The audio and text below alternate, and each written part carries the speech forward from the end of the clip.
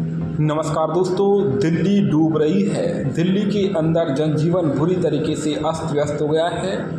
दिल्ली में कल यानी शुक्रवार को मानसून की पहली बारिश हुई और इस पहली बारिश ने ही राजधानी को घुटनों पर ला दिया है। शहर में मानसून की दस्तक के साथ ही पहले दिन लगातार तीन घंटे तक झमाझम बारिश हुई। दिल्ली वाले शुक्रवार सुबह जब सोकर उठे, तब तक भारी बारिश राजधानी को तरबतर कर चुकी थी। बता दें कि इस मूसलाधार बारिश ने पिछले 88 सालों का रिकॉर्ड तोड़ दिया है। इस दौरान लोगों के घरों में पानी भर गया, गाड़ियाँ डूब गई और सड़कों पर मीलों लंबा ट्रैफ़िक जाम लग गया है। जिसे ख़त्म होने में घंटों लग गए। हज़ारों लोग सड़कों पर फंसे रहे, जिनमें से कई अपने ऑफ़िस और दूसरे कामों पर नहीं जा सकेंगे शहर के कई पोस्ट इलाके पूरी तरीके से जलमग्न हो गए हैं, जिनमें लुटियंस दिल्ली भी शामिल है, जहाँ कई मंत्रियों और सांसदों का घर है। इस दौरान दिल्ली की जल मंत्री अतिशी कांग्रेस सांसद शशि थरूर और मनीष तिवारी के अलावा समाजवादी पार्टी के राम गोपाल यादव सहित कई सांसदों के बंगले तक पानी घुस गया है। दिल्ली में बारिश से जुड़े हादसों में कम से कम अब तक पाँच लोगों की मौत हुई है। इस दौरान शहर के मिंटो ब्रिज से लेकर आज़ाद मार्केट अंडरपास इस कदर दोस्तों पानी से भर गया है। मानो दोस्तों कोई कुआँ हो। बारिश के बाद प्रगति मैदान की सुरंग बंद कर दी गई है। वहीं पानी में डूबे आज़ाद मार्केट अंडरपास में एक बस भी फंस गई है, जहाँ पुलिस की मदद से लोगों को बाहर निकालना पड़ा। वहीं नॉर्थ वेस्ट दिल्ली के शालीमार बाग इलाके में एक अंडरपास में जमा बारिश के पानी में डूबने से 20 साल के एक व्यक्ति की मौत हो गई है। इसके अलावा रोहिणी के प्रेम नगर इलाके में उनतालीस साल के व्यक्ति की करंट लगने से मौत हुई है। वहीं न्यू उस्मानपुर इलाके में बारिश के पानी में डूबने से दो बच्चों की भी मौत हो गई है और आज दोस्तों एक निर्माणाधीन इमारत गिरने से तीन बच्चों की और मौत हो गई है। वहीं वसंत विहार में सुबह एक निर्माणधीन दीवार गिरने से तीन मजदूर मलबे में दब गए हैं और दोस्तों उनकी भी मौत हो गई है। मृतकों की संख्या पाँच से बढ़कर अब आठ हो गई है।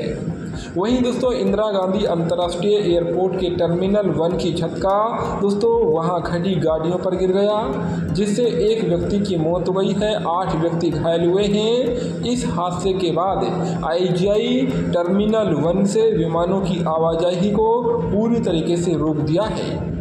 इस मूसलाधार बारिश ने दिल्ली के प्रतिष्ठित एम्स अस्पताल का भी हाल बिहाल कर दिया है। जहाँ तेज बारिश के बाद छतों से पानी टपकने लगा, जिससे अस्पताल के अंदर भी पानी भर गया है। इस दौरान एसी ने भी काम करना बंद कर दिया। इसके चलते एम्स में सभी ऑपरेशन थिएटर बंद रहे। हालात इतने ख़राब थे कि इमरजेंसी ऑपरेशन भी नहीं किए जा सके हैं। यहाँ से मरीजों को सफदरजंग या दूसरे सरकारी अस्पतालों में रेफर करना पड़ रहा है।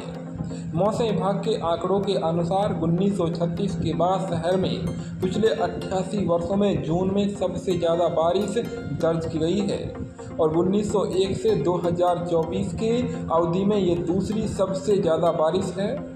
दिल्ली के प्राथमिक मौसम केंद्र ने शुक्रवार सुबह साढ़े आठ बजे से लेकर पहले के 24 घंटों में दो मिलीमीटर बारिश दर्ज की है जो जून की औसत बारिश चौहत्तर पॉइंट एक मिलीमीटर से तीन गुना ज़्यादा है, यानी कि अब की बार 88 साल का रिकॉर्ड टूटा है। जो बारिश शुक्रवार को हुई है, ऐसी बारिश 1936 को दर्ज की थी, जब दोस्तों तीन घंटे के भीतर ही 228 से ज़्यादा मिलीमीटर बारिश हुई है। वहीं दोस्तों, दिल्ली से सटे ग्रेटर नोएडा के अंदर भी भीषण बारिश के चलते एक निर्माणाधीन मकान गिर गया है, जिसके नीचे आठ बच्चे दब गए हैं, जिनमें से तीन की मौत हो गई है, बाकी बच्चों का इलाज चल रहा है। तो अब तक की सबसे बड़ी खबर राजधानी दिल्ली से आ रही है। दिल्ली में इस समय जनजीवन बुरी तरीके से अस्त व्यस्त है। इस समय दिल्ली डूबा हुआ है। पानी ही पानी नज़र आ रहा है। ये तो मानसून की पहली बारिश है। अभी तो पूरा का पूरा मानसून बाकी है। मौसम विभाग ने राजधानी दिल्ली समेत पूरे उत्तर भारत में अगले दोस्तों पाँच दिन के लिए ऑरेंज और येलो अलर्ट जारी कर दिया है। दिल्ली में तीन जुलाई तक झमाझम बारिश होने वाली है। और दोस्तों भयंकर बारिश के साथ लगभग 30 से 40 किलोमीटर प्रति घंटे की रफ्तार से हवाएँ भी चल सकती हैं। आप सभी से विनती है कि आप जर्जर घरों के अंदर ना रहें।